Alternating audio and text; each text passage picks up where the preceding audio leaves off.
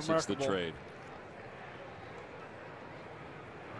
Asche hits it in the air to deep right center field. Going back on it is Harper. It is gone.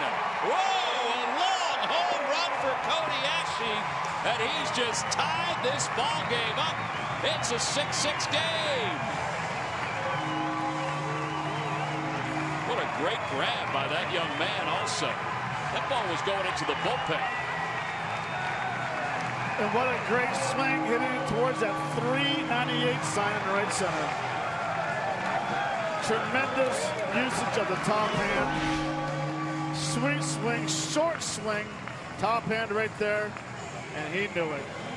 Head down.